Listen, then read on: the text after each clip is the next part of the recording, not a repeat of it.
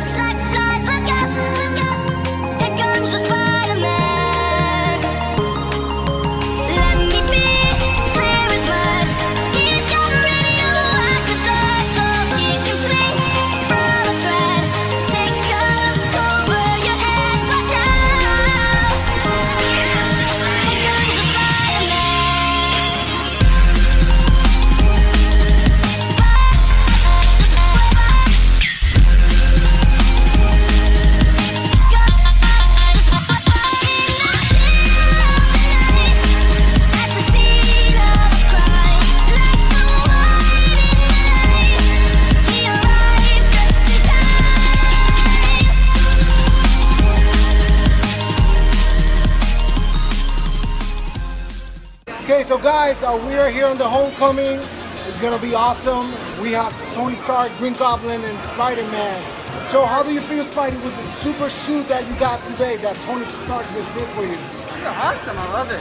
All those little technical, uh, technical buttons and right here. Yeah. Voice talking inside my head. Well, it's deactivated right now. It's okay. Oh, okay, okay, okay. So Tony, how do you feel that he's gonna beat Green Goblin in this one?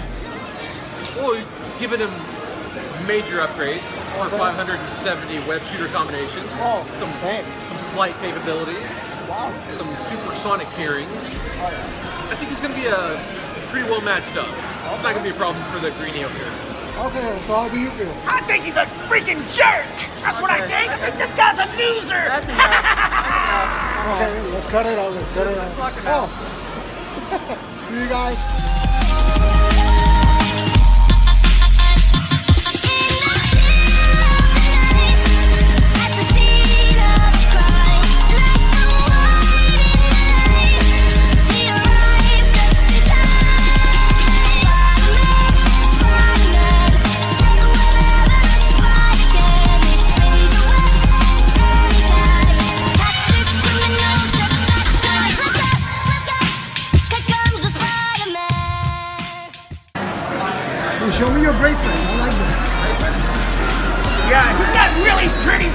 Bracelet for a little boy.